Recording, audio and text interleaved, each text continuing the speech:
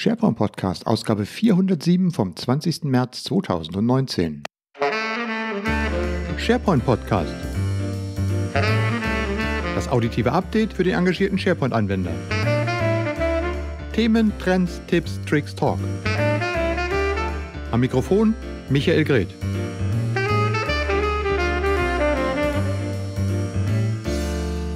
Zuverlässig wie fast jede Woche. Herzlich willkommen zur 407. Ausgabe des SharePoint Podcast. Was ist das Gegenteil von Frühlingserwachen? Spät rechts einschlafen. Genau. Okay, diesen alten Karlauer musste ich mir einfach heute mal gönnen zum Frühlingsanfang. Ich wünsche einen schönen Frühlingsanfang. Hoffentlich äh, habt ihr auch demnächst äh, so richtig schönes Frühlingswetter mit blühenden Sträuchern, Bäumen, singenden Vögeln, warmen Sonnenstrahlen. Wir können uns darauf freuen. Ich freue mich auf ähm, die Subscribe 10. Das ist die große Podcaster-Konferenz, die am Wochenende jetzt in Köln stattfindet beim Deutschlandfunk. Ähm, über 300 Teilnehmer werden wahrscheinlich dabei sein. Es ist so ein bisschen in Richtung Konferenzmischung mit Konferenz- und Barcamp-Organisation. Und ich freue mich schon, ganz viele Podcaster äh, dort wiederzutreffen, kennenzulernen und äh, ja, hoffe eine Menge auch für diesen Podcast mit zu lernen. Ähm, ja, oder so ähnlich. Gut, äh, die Shownotes für diesen Podcast sind äh, pippe voll, deshalb Schluss mit der kurzen Vorrede gehen wir mal gleich in Medias Res. Webinare. Ich mache ja gerade eine Reihe von Webinaren mit Partnern und in Eigenregie, wo wir verschiedene, ich sag mal, Themen diskutieren und äh, entsprechende Lösungen vorstellen. Das nächste, was ich mit einem Partner zusammen mache, findet statt am 4.4.2019 um 14 Uhr zusammen mit der Firma Panagenda. Und äh, die Überschrift dieses Webinars heißt Kurzschluss Cloud-Ausfall mal wieder kalt erwischt? Fragezeichen. Ja, äh, was passiert eigentlich, wenn die Cloud mal nicht da ist? Was können wir da machen? Wie können wir dem Ganzen vorbeugen? Gibt es da Präventivmaßnahmen? Können wir das, äh, solche Dinge schon im Vorfeld erahnen? Was kann man denn da machen? Ja, und Panagenda, die haben eine Lösung gebaut, die nennt sich Office Expert, genau dafür ausgestattet ist, solche äh, ja, Ereignisse vorab zu schätzen, Beispielszenarien durchzuspielen, um zu sehen, was dann passieren könnte. Ja, ich mache das zusammen mit Stefan Fried. Er ist der Produktmanager für Office Expert. Und am besten frage ich ihn gleich mal, lieber Stefan, ähm, eigentlich dürfte doch so eine Cloud gar nicht ausfallen, oder? Das Hauptthema des Webinars geht in die Richtung, dass SaaS-Lösungen, so wie es Office 365 auch darstellt, oft von Ausfällen bzw. Performance-Problemen nicht gefeit ist. In die Cloud zu gehen, um den Betrieb abzugeben, ist das eine. Aber worauf sehr oft vergessen wird, ist die Tatsache, dass man auch die Verfügbarkeit sowie auch die End-User-Experience messen sollte, um eben gezielt proaktive Aktionen setzen zu können im Falle eines Ausfalles. Die erst kürzlich passierten Ausfälle zeigen das auch sehr stark, dass Ausfälle große Auswirkungen auf Organisationen haben. Dazu kommt oft die Tatsache, dass man als Unternehmen nicht weiß, ob ich jetzt komplett davon betroffen bin oder ob nur Teile oder sogar Applikationen lediglich davon betroffen sind. Im Webinar selbst werden wir verschiedene Bereiche zu diesem Thema betrachten, einerseits von der Risikobetrachtung her, beziehungsweise wie kann man sich vorbeugen und in weiterer Folge, was kann man tun, wenn der Ausfall tatsächlich dann eintritt. Darüber hinaus werden wir Out-of-the-Box-Möglichkeiten, die Microsoft so bietet, aufzeigen und dann übergehen, überleiten in dem, was wir mit Office Expert so alles machen können. Nämlich genau das proaktive und präventive Monitoren aus End-User-Sicht über alle O365-Applikationen. Ja, danke Stefan. Dann freue ich mich schon auf unser Webinar. Ähm, Kurzschluss Cloud-Ausfall, mal wieder kalt erwischt. 4.4.2019, 14 Uhr. Den Link zur Anmeldung findet ihr wie üblich in den Show Notes. Auf dem SharePoint Saturday in Bremen habe ich ja, wie gesagt, die Keynote gehalten zum Thema die künstliche Intelligenz und der moderne Arbeitsplatz. Und ähm, ja, ich habe äh, ziemlich viel positives Feedback gekriegt. Und auch die Bitte, das vielleicht mal als Video aufzuzeichnen und so weiter. Und dann habe ich mir gedacht, äh, vielleicht kann man ja auch daraus ein Webinar machen. Und äh, gesagt, getan. Ich äh, mache diesen Vortrag nochmal als Webinar, diesmal nicht in englischer Sprache, sondern in deutscher Sprache. Und das dann auf dem Kanal der europäischen SharePoint Office 365 und Azure Konferenz, also sharepointeurope.com. Und zwar schon am nächsten äh, Mittwoch ist das, der 27.03. um 15 Uhr, gibt es das Webinar Künstliche Intelligenz und der moderne Arbeitsplatz. Und ich werde da mal einen Blick werfen, einmal auf die, ja, ich sag mal so, die Vor- und Nachteile, das Gut und das Böse in dieser künstlichen Intelligenz, worüber ja mittlerweile erfreulicherweise auch schon etwas genauer diskutiert wird, intensiver diskutiert wird. Und auf der anderen Seite werden wir uns mal angucken, was denn eigentlich schon in Office 365 so alles an künstlicher Intelligenz drin ist, äh, von dem ihr vielleicht noch gar keine Ahnung habt, was man machen kann, äh, wo da auch, sagen wir mal so, die Grenzen liegen. Das alles kommt in dieses Webinar hinein. Wie gesagt, 27.03.15 Uhr, künstliche Intelligenz und der moderne Arbeitsplatz. Ja, und da wir gerade beim Thema Webinare sind, zwei Webinare habe ich schon gemacht äh, im Februar und auch im März jetzt. Einmal zusammen mit MindLab. Ähm, da ging es um die Social Intranet Analytics. Das könnt ihr euch mittlerweile auch als äh, Aufzeichnung ansehen, falls ihr nicht dabei wart. Und das andere letzte Woche bei wissensmanagement.net, da ging es um das Thema Microsoft Stream, Kommunikation im Unternehmen mit in Bild und Ton. Habe ich einfach mal so eine kurze Übersicht gegeben, was man mit Microsoft Stream und mit Video im Unternehmen machen kann. Beide Aufzeichnungen sind verfügbar und ihr könnt euch diese anschauen. Die Links dazu findet ihr wie üblich in den Shownotes auf sharepointpodcast.de. So, was habe ich noch? Ich habe zwei Call for Papers hier laufen. Äh, äh, falls ihr mal auf einer Konferenz sprechen wollt und mal Vorträge einreichen wollt, bis zum 31.03. läuft zum einen der Call for Papers für die SharePoint-Konferenz in Österreich, in Wien, die am 24., 25., 26. Juni diesen Jahres in Wien stattfinden wird. Und ähm, es läuft außerdem der Call for Papers für die Office 365 und SharePoint Connect Community Edition 2019. Das ist die Konferenz, die im, am 10. und 11. Oktober in Amsterdam, beziehungsweise genau gesagt in Harlem stattfinden wird. Hörer dieses Podcasts wissen, da war ich im letzten Jahr auch schon dabei. Für beides läuft der Call for Papers, also falls ihr Interesse habt, mal selber zu einer Veranstaltung ähm, äh, Vorträge einzureichen, da sind zwei Möglichkeiten. Ich bin gerade in den letzten zwei Wochen dreimal darauf angesprochen worden, wo kann man denn mal Call for Papers einreichen. Also ähm, für euch. Genau. Und ähm, last but not least, weil wir bei den Terminen sind, äh, unser Terminkalender auf sharepointsocial.de, wo ich ja die User Group Treffen, die Meetups, die Kongresse, ähm, die Webinare und alles äh, aufführe, hat jetzt auch eine Kalenderansicht. Könnt ihr mal auf die Seite gehen und euch das Ganze anschauen. Okay, Community, äh, ich darf daran erinnern, dass wir eine Angebotsseite haben für die Community.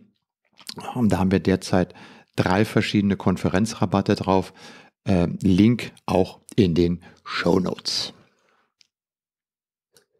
So, zu den Tipps, äh, ein paar Links zu ein paar interessanten Artikeln und sonstigen Dingen, die ich gefunden habe. Einmal heißt es Überblick über die wichtigsten Funktionen von SharePoint 2019 für Neueinsteiger. Also für diejenigen, die tatsächlich auch mal mit äh, 2019 ihr On-Premise-Abenteuer in die SharePoint-Welt beginnen wollen. Ich glaube nicht, dass es tatsächlich jemand gibt, der heute noch äh, von Null auf SharePoint Server 2019 einstellt, ohne Cloud zu berücksichtigen. Nichtsdestotrotz ähm, habe ich hier einen Artikel von Hunter Willis von AvePoint, der äh, sich mal ein paar Gedanken gemacht hat über die wichtigsten Funktionen in SharePoint 2019 und insbesondere auch, wie man hybride Funktionen vielleicht nutzen sollte, einbauen könnte. Äh, ist jetzt keine Raketenwissenschaft, aber ein schönes Zusammenstellung des Artikels, der vielleicht das ein oder andere Ideechen bei euch auch, ähm, oder wie sagt das, die, die, die, eine Ideenlampe aufgehen lässt oder sowas ähnliches. Gott, was für ein Bild.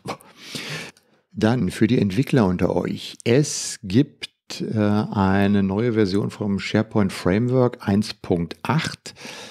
Ähm, das könnt ihr euch auch mittlerweile runterladen. Ähm, ist gerade aktuell announced worden, wie es so schön heißt. Ich äh, stelle es einfach mal so unkommentiert hin, wenn wir das bestimmt auch schon gesehen haben. Ach ja, und dann ähm, hat äh, Microsoft äh, mich gerade gebeten, eine Umfrage mal weiterzugeben. Und zwar kommt die aus Redmond von den Developern, äh, die gerne wissen möchten, inwieweit sie dann Content auf der Tech-Community lokalisieren sollen in Deutsch. Hintergrund ist ungefähr, man hat mal so ein paar Umfragen gemacht und hat festgestellt, dass äh, auch aus deutschem Sprachraum heraus 50 Prozent aller User damit zufrieden sind, dass es äh, englischsprachigen Content geht und dass der auch entsprechend gut genutzt wird. Trotzdem die Frage, braucht ihr deutschen Content? Ähm, ist das für euch sinnvoll ähm, oder kommt ihr mit Englischen aus? Da gibt es eine Umfrage und das Developer-Team würde sich freuen, wenn ihr euch daran beteiligt. Ich verlinke diese Umf Umfrage mal in den Show Notes und äh, würde mich freuen, wenn ihr daran teilnehmt. Denn ja, mit so einem Feedback kann man ja auch die Qualität und das Angebot auf ähm, der Tech-Community verbessern oder euren Wünschen besser anpassen. Auf meinem iPhone ist heute Morgen das erste neue Logo von Office aufgetaucht und zwar für Outlook. Es gab ein Update für Outlook und jetzt habe ich auch diese neuen Logos da, die jetzt mittlerweile auf Office 365 schon ausgerollt sind und äh, ja, noch nicht überall, noch nicht über gleichzeitig, noch nicht für alle Programme. Es sieht ein bisschen aus wie Kraut und Rüben, aber ja, äh, sie kommen. Und der Patrick von afreit.at oder com, ich weiß gar nicht, ist das at oder com? Ich muss mal kurz gucken. afreit.com, der hat diese, die ähm, Logos, die Icons sich genommen und hat sie mal animiert. Äh, ging gerade durch die Medien, also die Multimedien, wie heißt das so schön? Die Social Medien und äh, falls euch das interessiert, ich habe es mal verlinkt, könnt ihr euch animierte Office Word, Excel, PowerPoint, Teams, Yammer und Skype for Business Icons herunterladen.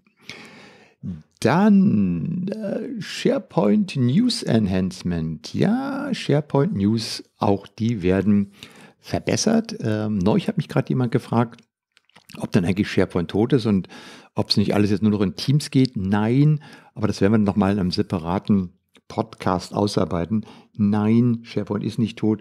Und auch das ganze Thema Intranet und News hat ja mit der Modern UI und dem, was Microsoft in den letzten, wir haben jetzt einen halben, dreiviertel Jahr gemacht hat, äh, praktisch eine Renaissance erlebt. Und im Tech-Community gibt es jetzt nochmal einen Überblick, was es an Neuigkeiten rund um die SharePoint News gibt.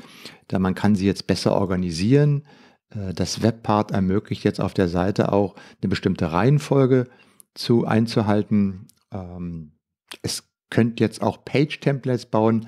Also die News werden weiterentwickelt und sind, glaube ich, ein ganz wichtiger Baustein, um sein Intranet nochmal neu aufzudenken. Aber wie gesagt, das erfordert, glaube ich, nochmal eine völlig separate Diskussion äh, wie baue ich tatsächlich so ein modernes Intranet auf. Aber da bringe ich dran, das zu äh, mir entsprechende Gesprächspartner rauszusuchen, mit denen ich das mal etwas ausführlicher diskutieren kann. Weil wir gerade bei den SharePoint-Seiten und den Modern Pages sind, ist mir ein schon etwas älterer Artikel vom SharePoint Maven, wie er so schön heißt, vom Greg aufgefallen. Äh, der hat mal gesagt, SharePoint Modern Pages Best Practice, kommt aus dem September 2018. Und da kriegt ihr ein paar Tipps, wie man am besten diese modernen Seiten aufbaut, wie man Funktionen einbaut, wie man sie gestaltet. Äh, interessanter Tipp. Äh, einfach mal in den Links schauen. Dann äh, kam, wo kam das denn jetzt auf? Uh, uh, uh, Jemand hat mich mal hat mich auch gefragt, ähm, wie ist das eigentlich mit SharePoint und Yammer? Äh, ist der Yammer-Feed ein guter Ersatz fürs Diskussionsforum oder wie kann ich das machen? Habe ich mir ein bisschen genauer angeguckt und ja, eigentlich äh, zeigt der Microsoft jetzt auch, wenn sie zum Beispiel Stream vorführen, wenn man so eine SharePoint-Seite eingebettet hat, dass man nicht nur das Video schauen kann, insbesondere gerade bei so einem Livestream, sondern dass man darunter quasi eine Yammer-Box hat und äh, quasi live dazu chatten kann. Und ähm, wie man so ein Yammer-Feed in eine SharePoint-Seite einbauen kann, je nachdem, ob ihr SharePoint Online 2019 Modern Pages oder 2013, 2016 Classic Pages habt, gibt es unterschiedliche Möglichkeiten und ich habe mal die Links zusammengetragen und sie alle in einen Artikel gepackt, plus zwei, äh, ich glaube, grundlegende Videos aus der Ignite letzten Jahres dazu gepackt und das könnt ihr euch unter dem Thema Yammerfeed in eine SharePoint-Site einbauen. Gerne auch aus den Shownotes herausbringen. Dann auch so ein Thema, was ich immer, ach ja, man so gerne mal reingucken würde, aber natürlich auch immer wieder Zeit beeinträchtigt, ist das ganze Thema der Business-Plattform. Also sprich Power Apps, Flow, Power BI. Und äh, da bin ich ins Office Kompetenz, äh, office-kompetenz.de in den Blog gekommen beim Dominik Petri. Der hat einen Artikel geschrieben, Mehr Zeit für Wichtiges, wie ich lästige Routinenaufgabe mit Flow automatisiere ohne Programmierung. Ähm, das geht dann kreuz und quer, ich glaube, mit Microsoft To Do und mit, ähm, mit Outlook und äh, ja, mit Benachrichtigungen. Und wie er das gebaut hat, das beschreibt er in seinem Artikel. Finde ich mal ganz interessant, weil sich, äh, vielleicht ist ja immer so, so ein, manchmal braucht man ja so eine Initialzündung, wo man eine Lösung sieht, sagt, ah ja, komm, die gucke ich mir jetzt mal an und kriegt dann so den ersten Einstieg in dieses ganze Thema Flow Power Apps. Und vielleicht ist das ja was für euch. Netter Artikel. Ich verlinke ihn hier gern. Und äh, genau, ein zweiter, den habe ich bei, ich glaube, für diejenigen, die mit Power Apps äh, als Non-Developer arbeiten, ist die wonderlaura.com. Laura Rogers, glaube ich, die Anlaufstelle schlechthin. Laura hat schon früher im SharePoint Designer ganz viel gemacht und äh, ist jetzt eben wirklich spezialisiert auf das ganze Thema Power Apps und hat in ihrem Blog, ähm, den ich einfach jetzt mal hier mit zitiere, einen Artikel geschrieben, Run a Flow as a part of a SharePoint Site Design und zeigt euch mal, wie man quasi einen Flow in Site Design einer SharePoint-Seite einbauen kann. Ja, die hackt da schon ganz krasse Lösungen rum. Auch dieser Beitrag verlinkt in den Show Notes. So, und mein letzter Tipp für heute geht auf eine Frage, die wir im Grunde genommen schon seit der allerersten SharePoint-Version diskutieren. Wie ist die beste Strategie, seine Site Collection Security aufzubauen? Wie baue ich die SharePoint-Sicherheit auf, die Berechtigungsstrukturen? Wie mache ich das? Und äh, da gibt es ein White Paper vom Rob Boak. Das nennt sich SharePoint Site Collection Security Strategy.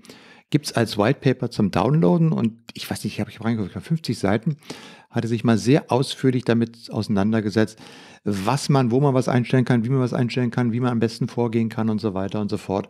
Äh, lohnt sich auf jeden Fall mal runterzuladen, quer zu lesen. Ihr habt sicherlich, wenn ihr SharePoint betreibt, eure eigene Strategie, euren eigenen Lösungsansatz. Aber vielleicht ist ja der eine oder andere Tipp dabei, ähm, der es hilft, eure äh, Berechtigungssysteme zu verbessern, zu optimieren oder vielleicht auch Fehler festzustellen oder falls ihr noch gar keine Strategie habt, vielleicht habt ihr einen Ansatz dafür, einmal äh, einen Best Practice zu finden, wie man sowas machen kann und sollte.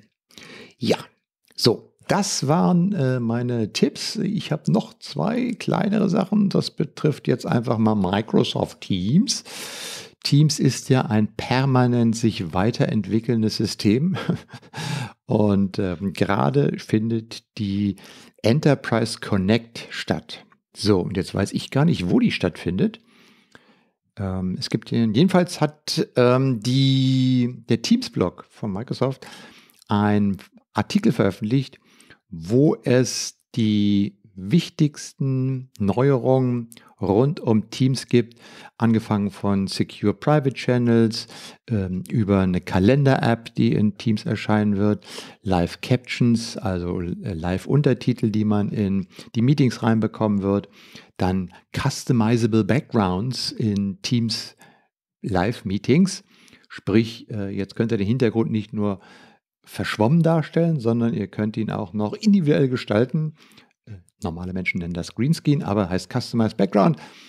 Ja, und, und, und, und mehr. Microsoft Whiteboard kommt in Teams rein, dass man also mitten im Team auch auf dem Whiteboard arbeiten kann. Und dieses Whiteboard soll, wenn ich das richtig gesehen habe, auch mit Hilfe von künstlicher Intelligenz quasi sozusagen dann in, äh, in Inhalte umgewandelt werden können. Also das, was man da geschrieben hat, man dann auch, äh, genau, ich habe es noch nicht live gesehen, ich habe auch nur das Video im Moment gesehen, dass man dann quasi das, was man geschrieben hat, auch tatsächlich dann durchsuchen und lesen kann. Und noch mehr und noch mehr Live-Events äh, sind jetzt auf Microsoft 365 überall verfügbar oder kommen. Und wie üblich äh, bei all den Neuerungen heißt es ja immer, ähm, rollen jetzt aus oder later this year. Meine Lieblingsformulierung auf allen Microsoft-Konferenzen ist, uh, this feature will be available later this year. Und this year hat ja noch fünf, äh, nein Quatsch, was haben wir? Ja, März haben wir, also wir haben ja noch neun Monate. Jedenfalls äh, dieser Artikel äh, super mal durchschauen, damit ihr wisst, wenn ihr Teams nutzt, was da alles auf euch zukommt und was für viele schöne Sachen dort noch ausstehen. Ein anderer Tipp, äh, das ich, bin ich auch mehr zufällig drauf äh, gekommen, ist die Teams Academy. Es gibt von Microsoft tatsächlich auch für das Thema, wie lerne ich denn mit Teams umzugehen, Best Practice und mehr oder minder diese Themen, die eigene Academy und auf deren Seiten findet ihr Videos, Anleitungen, Papers und so weiter, wie man Teams im Unternehmen einführt, wie man es administriert, Unterstützung und so weiter und so fort.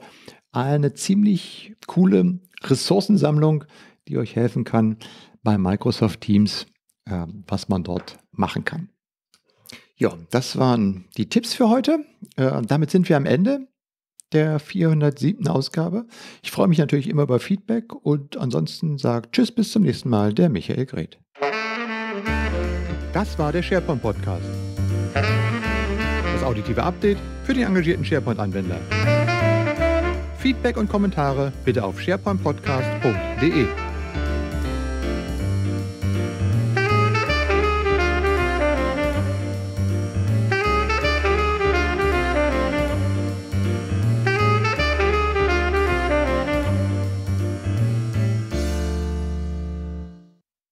Wer denkt denn jetzt dran, was nachher sein wird? Außerdem, ich muss ja gar nicht aufhören, ich kann immer weiter. Immer weiter, weiter.